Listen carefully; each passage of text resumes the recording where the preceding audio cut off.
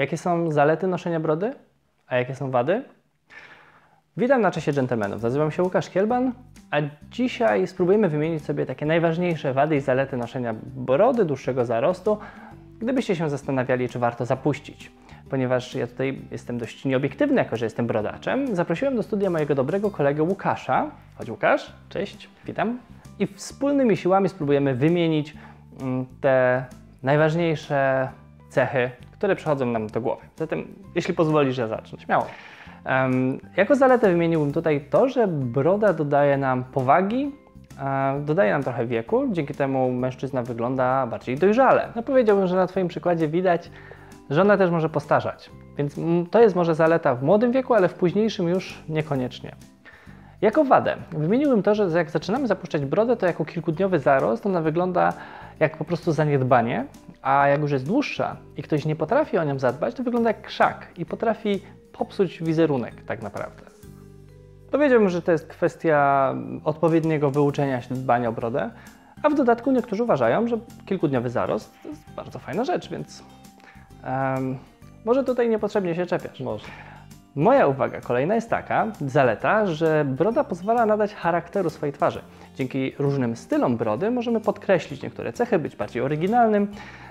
Daje nam to duże pole do popisu. Dlaczego wszyscy brodacze wyglądają tak samo? A chwila, a ogoleni nie wyglądają tak samo? Tutaj nawet nie ma czym się wyróżnić. Dobra, ja mam wadę. Jak broda wyrośnie nam zbyt długa i nie możemy już jej strzyc trymerem, musimy użyć nożyczek, ale strzyżenie brody nożyczkami należy do trudnych rzeczy i efekty czasem są średnie. Nauczenie się przycinania brody nożyczkami wcale nie jest takie trudne, jakby się wydawało. To jest chwila nauki, ale coraz więcej jest barberów profesjonalnych na rynku i można pójść do któregoś. Nawet fryzjer przytnie brodę, e, jeśli się tak? go o to poprosi, więc tutaj nie ma problemu. Ale ja odbiję piłeczkę. Po zapuszczeniu brody nie trzeba się golić. Wielu mężczyzn nie cierpi tego porannego rytuału. Jak się nauczyć golenia na mokro, to naprawdę jest bardzo przyjemna rzecz. Polecam. Natomiast jako wadę wymieniłbym to, że broda swędzi podczas zapuszczania i wiele osób przez to porzuca w ogóle myśl o posiadaniu brody. No i to jest tylko i wyłącznie kwestia użycia olejka, który nawilży nam skórę, bo skóra nienawilżona swędzi.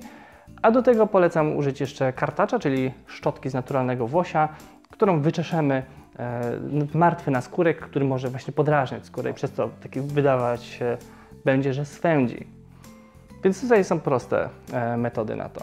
A ja mam jeszcze inną zaletę. Broda e, podoba się wielu kobietom.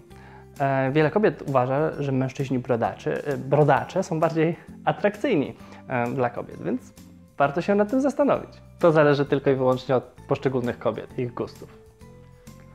Nie mam już nic więcej. To chyba już wszystkie wady i zalety, jakie wymienimy dzisiaj.